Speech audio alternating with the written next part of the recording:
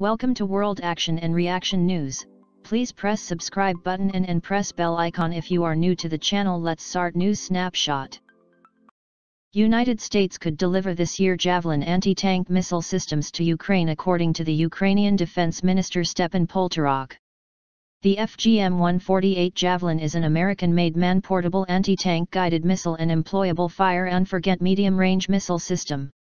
It was developed and built by a joint venture formed by American companies Raytheon and Lockheed Martin. ABC News website announced that the U.S. President Donald Trump has approved the sale of lethal munitions to the Ukrainian government in its fight against Russian-backed separatists in the country's Donbas region. The total defense contract of $47 million could include the sale of 210 Javelin anti-tank missiles and 35 launcher units. The Javelin is a portable anti-tank weapon system, manufactured by the American companies Raytheon and Lockheed Martin Javelin under a joint venture. It is shoulder-fired but can also be installed on tracked, wheeled, or amphibious vehicles. The Javelin missile system is in service with 20 armies in the world. The Javelin system consists of the CLU, Command Launch Unit, and the round. The CLU, with a carry weight of 6.4 kilograms, incorporates a passive target acquisition and fire control unit with an integrated day sight and a thermal imaging sight. The gunner's controls for the missile system are on the CLU. The day sight is equipped with X4 magnification and the night sight with X4 and X9 magnification optics.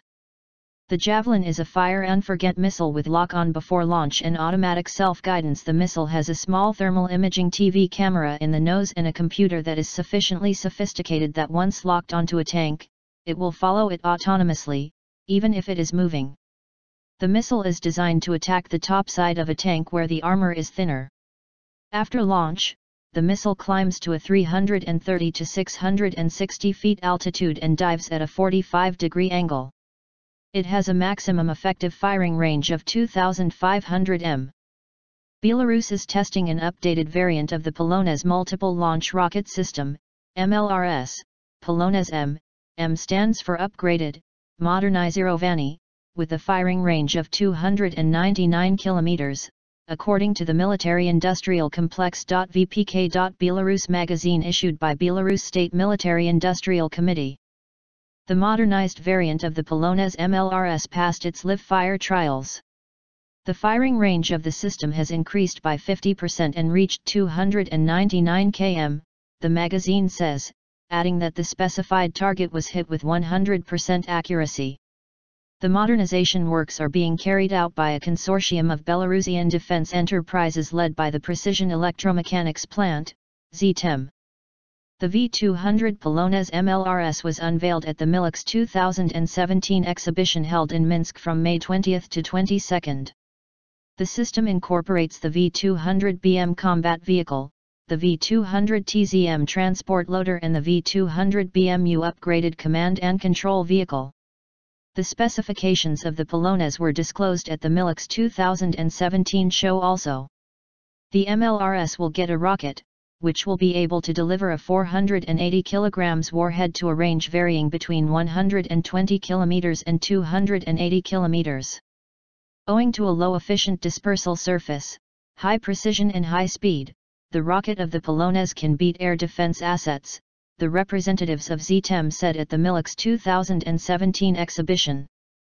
According to the Defense News website, the Turkish defense industry would like to develop a local-made air defense system similar to the Iranian-made Iron Dome, a counter-rocket, artillery and mortar and very short-range air defense, V-SHORAD, system. Some Turkish media have published that the project of the new Turkish-made air defense system could be named Golden Cage. Under this Golden Cage project, the idea is to protect the Turkish border with Syria against the fire of rockets, artillery shells, missiles from across the border by Kurdish and other militias. The Turkish project was presented to the Undersecretary for Defense Industries some few days ago during a meeting to review the projects of the Turkish defense industry. In recent months, Turkey, and especially the Turkish border cities of Hatay and Kilis, were subject to rocket attacks from across the border in Syria. In January 2018, Four rockets fired from Syria hit a Turkish border killing two civilian people and 12 others were wounded. The Israeli-made Iron Dome is an affordable, effective, and innovative defense solution to the asymmetric threats of short-range rockets, up to and over 70 kilometers, and mortars as well as V-SHORAD missile system, up to 10 kilometers, against traditional air defense targets. Iron Dome can handle multiple threats simultaneously and efficiently. The system enables effective and selective handling of critical threats aimed at the defended zone to reduce unnecessary launches. The system uses a unique interceptor with a special warhead that detonates any target in the air within seconds. If the estimated rocket trajectory poses a critical threat, a command is given within seconds and an interceptor is launched against the threat delicate wording to be found by the Belgian defense to make Parliament accept the undeniable need to equip the army with drones corresponding to what an increasing number of countries are adopting in the 21st century, namely drones capable of firing missiles. 4B Hunter drones, produced by IAI, Israel Aerospace Industries, have been in service since 2004 in the Belgian army. They will be phased out between 2021 and 2030 the devices to replace them must meet up-to-date criteria based on the new operational requirements deducted from operations in Afghanistan, Syria, and Iraq, to name but a few. This is a market valued at 490 million euros. The main novelty, or at least the one that arouses the most excitement among some parliamentarians and various movements systematically unfavorable to military investments, is that they can also fire missiles.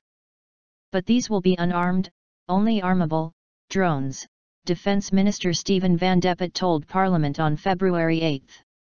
The formula is convoluted, one had to think about it. Politically obliged to show a certain prudence typical of the country where painter René Magritte, champion of surrealism, was born, the minister explained that these drones would, like the B-Hunter, carry on mainly observation missions but that if necessary, they could be used for attack missions, this being said almost like an apology. Surrealism, we say, responding to the usual theatrical indignations about the risk of collateral damage, it was said that the pilots of these drones on an attack mission would be forced to respect the same rules of engagement than the fighter-bomber pilots. The reputation of the Belgian pilots is remarkable on this point. The Czech Defense Ministry plans to purchase 50 new self-propelled howitzers with a budget of $490 million the Czech Army news a new capacity of artillery system fully compatible with NATO standard in terms of caliber, communication, and firing range. Czech company Excalibur Army has developed an upgraded type of the Dana 152mm self-propelled gun howitzer VZ.77, called Dana M1. The implemented upgrade items keep the well-established combat and service features of the Dana system unchanged and at the same time transform the weapon into an up-to-date and more powerful system.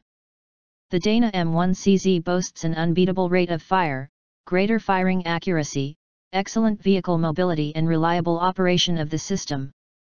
Slovak defense industry has also developed a modernized version of the Dana using a new NATO standard main gun 155mm 45 caliber, under the name of Zuzana. The Zuzana 155mm wheeled self-propelled howitzer features long range, high accuracy, and rate of fire, prompt preparation for firing and high level of mobility ensured by a modified Tatra 8x8 chassis. Design of the gun enables to use any NATO standard 155mm ammunition available on the market. The Zuzana fire control system enables the capacity of multiple round simultaneous impact, MRSI, mode.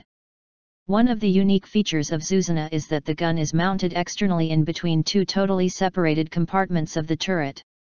This makes the crew inherently safe from any potentially dangerous mechanics of the gun and autoloader plus the crew is protected from the gases generated during firing.